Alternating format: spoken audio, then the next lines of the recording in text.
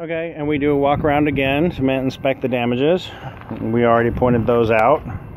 And there is no new damages. You notice how we have even space on this side as we do on this side right here. See? And also, whenever you load the vehicle or whenever you stop, you always want to make sure that this right here is still tight the chains are all still good and the chains are not touching the ground. And your wiring is not dragging. And your wiring is plugged in. Okay? Sometimes the wiring right here can go underneath underneath this right here and then it will cut it. So you want to make sure that it's not in that part. All right and that is everything. See you on the other side